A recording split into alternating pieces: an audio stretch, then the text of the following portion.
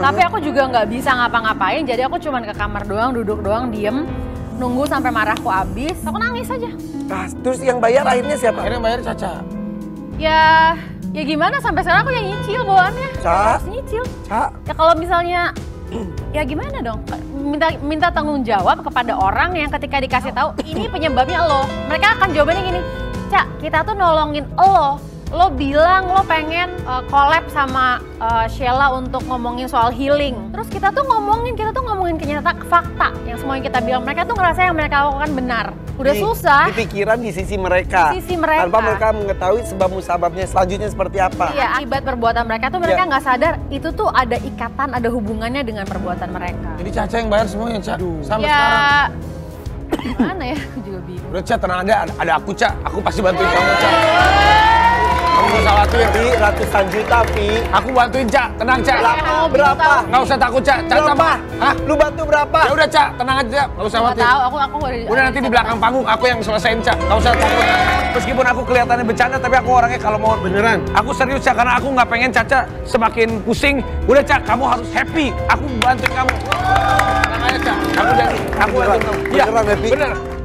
Marsanda sebut masih nyicil biaya RSC di Amerika Serikat. Raffi Ahmad, sisanya aku yang bayarin. Aktris Marsanda mengaku masih menyicil pembayaran rumah sakit jiwa di Amerika Serikat sebesar 20 ribu dolar Amerika Serikat atau sekitar 297 juta. Diceritakan Marsanda selama dua minggu berada di rumah sakit jiwa yang terjadi tanpa kehendaknya. Marsanda ditagih sekitar 20 ribu dolar Amerika Serikat. Pas udah dikasih bill yang harganya hampir 20 ribu dolar Amerika Serikat, billnya berubah karena nambah, ucap Marsanda dikutip dari FYP Trans 7. Awalnya masih 18 ribu dolar Amerika Serikat, karena nambah hari, 4 hari lagi jadi 24 ribu dolar Amerika Serikat. Sekitar 300 juta, lanjutnya. Saat memberitahu kedua temannya tentang tagihan tersebut, respon kedua temannya justru membuat Marsanda tercengang dan hanya bisa menahan marah. Aku tuh baik-baik aja, ini semua tuh perbuatan kalian. Ya nggak bisa dong, nggak bisa kita dong Cak, kata Marsanda mengulang ucapan temannya tersebut. Bener-bener marah banget sampai gemeteran, tapi juga nggak bisa ngapa-ngapain, jadi aku cuman ke kamar, duduk, diam nunggu sampai marahku habis. Aku nangis aja, ucapnya. Karena ulah temannya tersebut diakui Marsanda sampai sekarang dia harus menyicil pembayaran rumah sakit jiwa. Sampai sekarang aku harus nyicil. Ya gimana dong, minta tanggung jawab kepada orang yang ketika dikasih tahu ini penyebabnya loh. Mereka akan jawabnya, Cak kita itu nolongin lo, ujar Marsanda. Mereka nggak akan sadar itu ada ikatan, ada hubungan dengan perbuatan mereka. Imbuh artis yang akrab disapa Caca itu. Mendengar pengakuan Marsanda, Raffi Ahmad sebagai sahabat spontan mengungkapkan niatnya untuk membantu Marsanda. Udah Cak, tenang aja. Ada aku Cak, aku pasti bantuin kamu Cak. Kamu nggak usah khawatir. Ucap Raffi. Seharga mobil Taufik, kata Marsanda. Ucapan Marsanda tak membuat Raffi mengurungkan niatnya. Raffi tetap ingin membantu Marsanda. Meskipun Marsanda tidak mau mengungkapkan besar nominal tersisa yang belum dibayar. Nggak usah takut, Cak. Tenang saja. Sisanya berapa, aku yang bayarin semua, Cak. Buat Caca nggak usah khawatir. Kata Raffi. Aku nggak pengen Caca makin pusing. Kamu harus happy. Aku bantuin kamu. Tenang aja, Cak. Aku janji kalau buat Caca, aku bantuin pasti. Imbuhnya.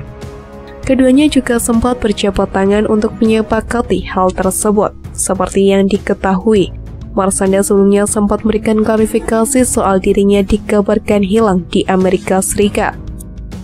Ibu satu anak itu membantah kabar tersebut dan mengaku dimasukkan ke RSJ di Los Angeles.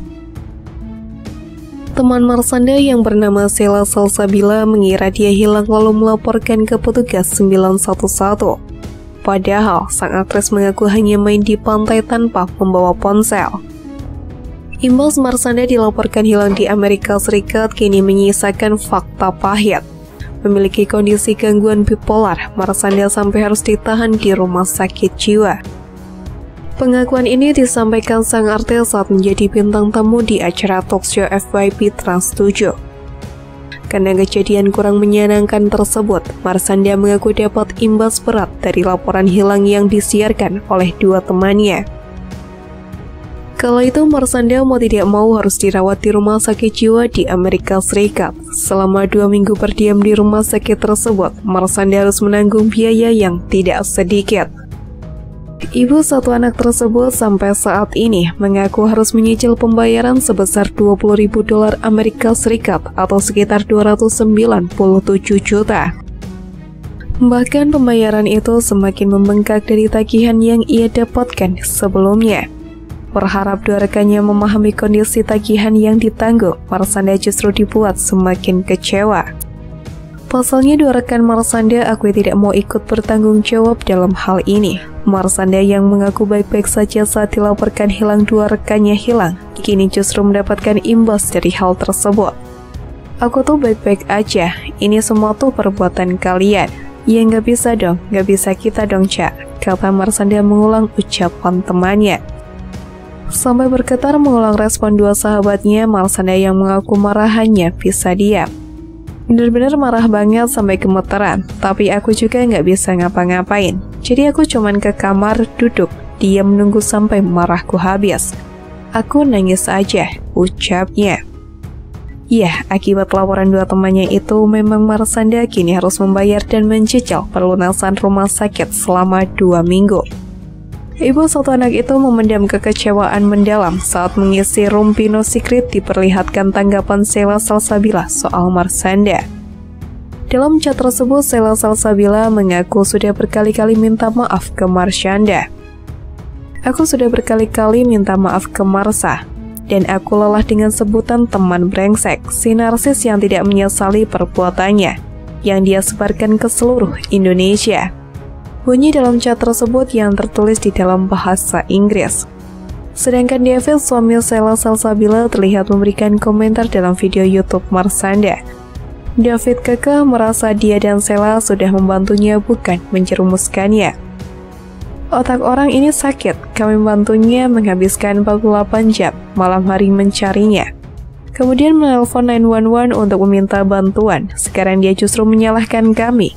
Meminta bantuan dan tagihan rumah sakit sebesar 30.000 USD. Sakit banget. Kenapa saya harus berurusan dengan ini? Lebih baik dia meminta maaf kepada kami temannya. Ini tidak berakhir tanpa bantuan teman, komentar David dalam tulisan dalam bahasa Inggris.